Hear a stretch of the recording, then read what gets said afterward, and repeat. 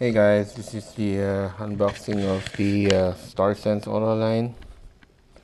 I just got it today and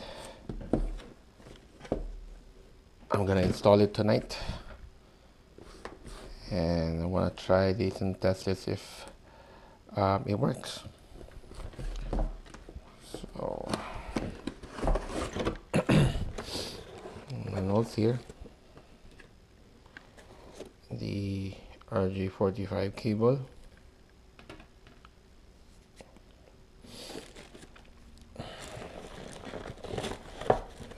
Uh, go to pad.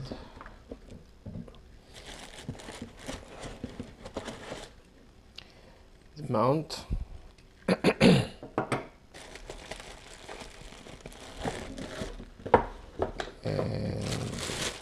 actual camera.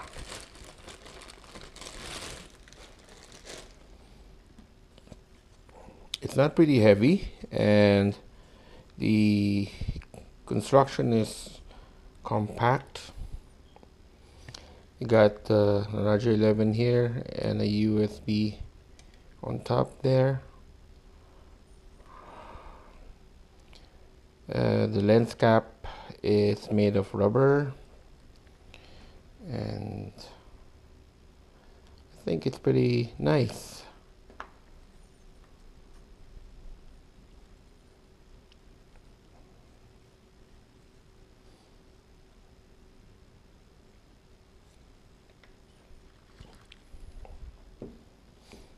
Okay, so um, the reason I bought StarSense is because um, I want to maximize um, you know my my my viewing time versus um, my setup time because I'm not a polar alignment expert and I can I can align probably like half an hour or so or more.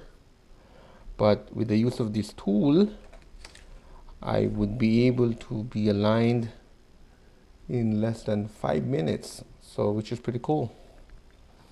So I'm going to install this now to my scope and test it out and see what will happen.